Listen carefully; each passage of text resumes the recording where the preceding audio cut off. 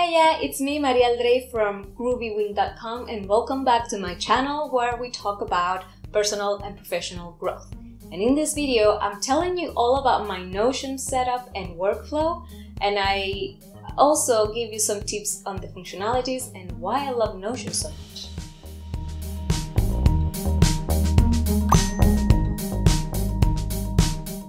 Notion.so is an all-in-one productivity app that has been a game changer for me because it's simple, it's affordable, it's powerful, and clutter-free, which is free of distractions, thank God.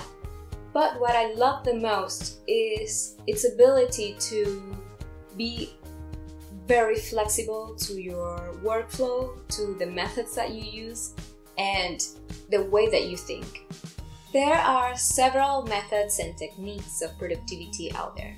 The ones that I use are getting things done, uh, building a second brain, um, the checklist manifesto. I also have the uh, sprints and I have a life wiki on my Notion. The reason why I love Notion so much, beyond all of the things that I said, it's because it has helped me channel my focus and attention into my different projects and I was able to stay consistent throughout my information overload and I was able to progress a lot. So let's dive in into Notion. Welcome to my Notion! Yay, it's so exciting. I'm gonna be looking over there because that's where my monitor is. So let's start with saying that Notion, as I said before, is an all in one productivity app because it's a mix of Microsoft Office, Asana, Trello, Evernote, and so many other apps out there. I've tried these, and even though some of uh, those apps are great, they are missing something important, which is the flexibility that gives me room for error. Notion is not bound to a specific setup like other apps. And now, with more functionalities coming out, such as the Evernote uh, importer and the Web Clipper, it makes it like a no brainer for me. During my productivity exploration, I found that my brain works best when I have a step by step guide. Otherwise, I get too distracted, and this means that my setup is going to be different from others. I don't have a homepage, but what I do is that I have a start here page, which takes me to a simple but effective gamified workflow I created for myself. From there, I can choose to play a character based on the E Myth Revisited uh, Personalities, which is a must book for everyone who wants to be an entrepreneur or wa- wants to work independently. It's a must read. And on this page, I also uh, list my achievements and any other rules of information that I feel it's important. These characters have very different values and goals, and they provide with specific path to take. The technician is the one that wants to get stuff done. It's directed by the manager and follows the system that is provided for her. She is stuck in the present moment at all times. My path usually starts with the habits tracker. It's a page where I log the daily, weekly, and monthly habits I set for myself, and I can easily see trends and ways to move forward uh, when a week didn't go so well. After I'm done with that, I go to the daily sprints page. In this page, I find a few things I need to do in order to get in the zone. For example, I have my Sprint Log with this template button where I log the uh, work I did the day before, uh, what I will do the day I'm working, and uh, what's blocking me at the moment. This helps me stay very focused on what I want to do. After that, I go into my project management table where I find an organized backlog of everything that I need to accomplish for that sprint specifically. I usually filter it so I only have the things that I need to do that specific week. For example, I can say that I want to see everything that is not completed and that has a deadline that is before March 10. By the way, I only update this uh, project management table at the beginning of every week, which is when the manager steps in. After I'm done with the project management, I go into the work cycles, the two hour work cycle, where I do it with the Pomodoro technique um, based on cycles of 30 minutes and 10 minutes 10 minute breaks. I took this from the work cycle trainings that uh, ultraworking.com. Their founder, Sebastian Marshall, is really good to guide you how to get stuff done. The most important things is understanding what you want to accomplish each cycle and then get a quick feedback after that so you're able to move to each cycle in a more focused way and you're never off track. Finally, at the end of the day, I add the pages, projects, and resources I, I'm using or I've previously used or something that I will probably need in the future. And I do it on I add it on the save games here after working section. The manager is the pragmatic one that keeps everything organized and structured. It makes the technician's life easier, and she's always kind of stuck in the past. This time I must choose a path uh, depending on if I'm starting a new week or month. If I'm starting a new week, for example, it will take me to a weekly plan template button, which you can find on my website for you to copy, by the way. Let me just click here and you can see it. Yes. Uh, the link is in the description and it will take me to the technician's path after I'm done planning for the week, again with the habits tracker. If I'm starting a new month, let's go to the manager and I'm starting a new month. It will take me to this monthly plan template button, very similar to uh, the weekly plan. Let's click on that. But it will take me to the next the to the new week. So I uh, after I plan my month, I plan the next week, which then takes me to the technician uh, path. At the end of each sprint, so every two weeks, I go through the re- retrospection path.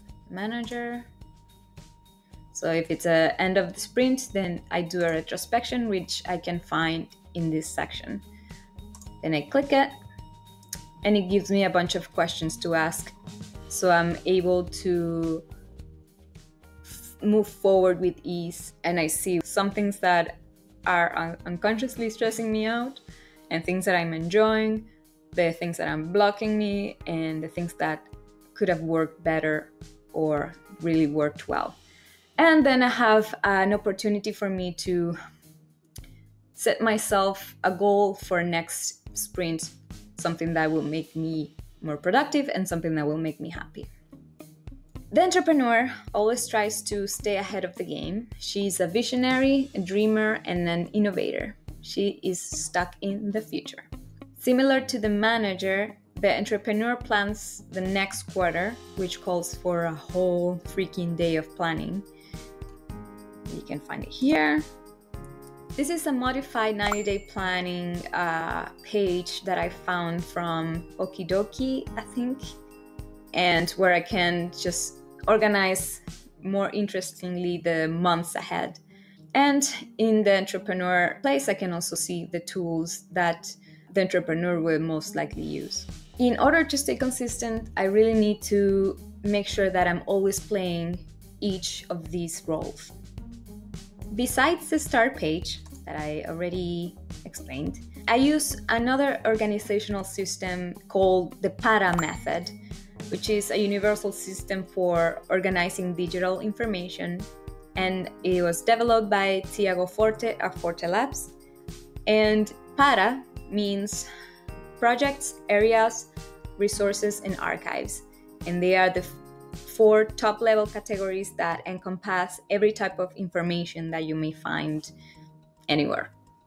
In my projects page, I can find the projects that I'm currently working or using, and they have a defined goal and end in sight.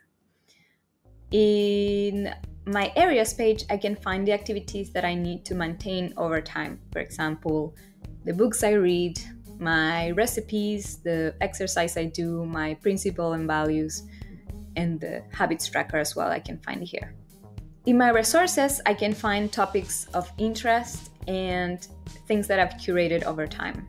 And the archive page is basically everything that I find inactive from any of those ca- categories. Finally, I have the inbox page where I dump all of the different things I've collected online and and the thoughts and ideas I come up with. I use the web clipper and the importer, which are a new thing, and they're basically Evernote destroyers. if you've been using Evernote, this is gonna be oh, hallelujah. I I seriously should get better at organizing this section. I do it every other day, and it's usually kind of a mess. It has more, even more stuff. You caught me in a good day, actually. So what I do is I create a new toggle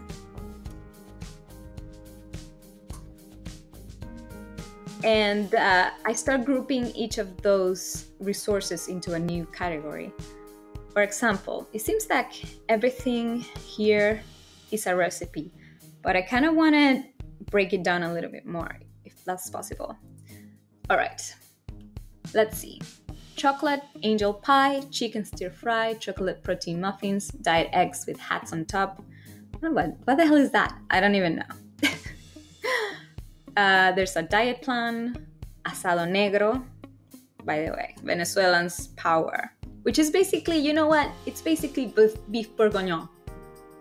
Like, what the hell? That's another story. and there's a 30 minute sriracha chicken and broccoli lo mein. I want that one.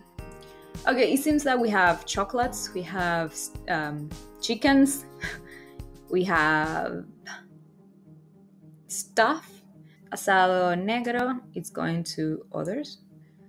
I don't know what this is, so it's a good idea to go back into the pages and see what's in there because, okay, I can just delete that because I don't know what that means.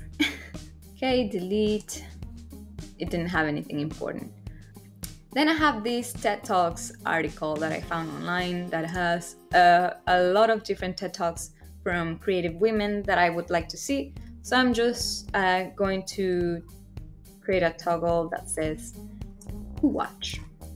And now I know that that's pending and I can watch it whenever I need to.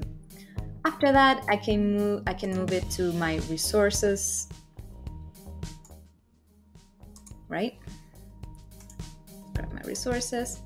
And if there's already a recipe, I can I can um, streamline this a little bit more. I'm sorry. Here. Recipes. Or I can save it if you already have it into my recipe exercise and recipe section that I have um, there as well. Even I can do that, or I can do the other. And then everything is ready and organized and pretty, and the inbox is free of stuff. And I can save anything I see online or any thoughts that come up to my head. And that's how I organize my inbox. I have a link down below for you to sign up if you're interested, if you haven't done it already.